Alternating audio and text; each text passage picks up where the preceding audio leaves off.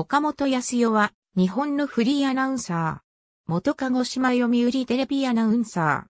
旧姓、山形。鹿児島市出身。鹿児島県立江南高等学校、鹿児島大学卒業。1999年、鹿児島読売テレビにアナウンサーとして入社。局アナ時代は、コヨーテニュースプラス1を岡本義久と共に担当。2001年、岡本義久と結婚を機に退社。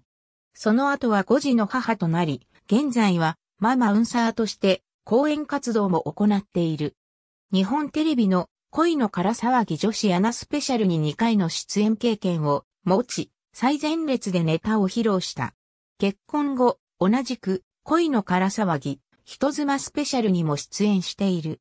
結婚を機に担当番組において、料理コーナーを15年以上担当、フードコーディネーター、食育インストラクター、食育アドバイザーの資格も持つ。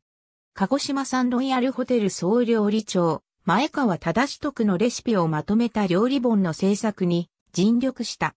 最近は自身の原点である朗読活動にも力を入れており、朗読家としても活動。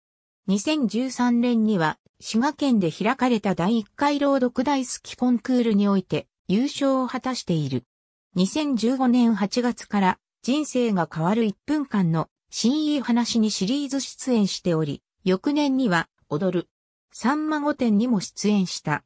料理や子育て、仕事などママウンサーとしての日常を綴ったブログ、走り続ける岡本家は全国的にも注目を集めている。